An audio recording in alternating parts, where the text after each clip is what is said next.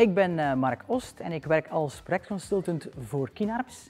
Met Kinarps richten wij inspirerende werkomgevingen voor zowel kantoor, zorg als onderwijs. We zijn bij Agidens, een toonaangevend bedrijf in eh, procesautomatisering en engineering. En bij Agidens vond men het tijd om afscheid te nemen van een uh, klassiek kantoor en te opteren voor een mix van diverse zones waar werknemers zich kunnen tussen bewegen.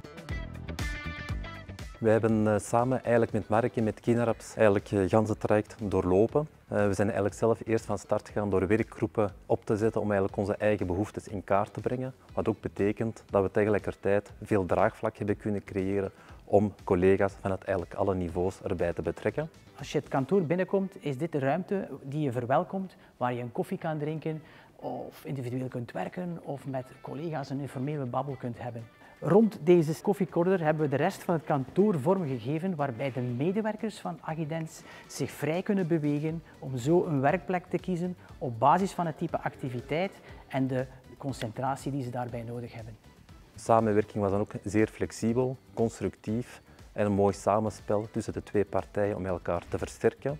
Dus overal hebben we eigenlijk een kantooromgeving gecreëerd die toch onze eigen verwachtingen heeft overtroffen.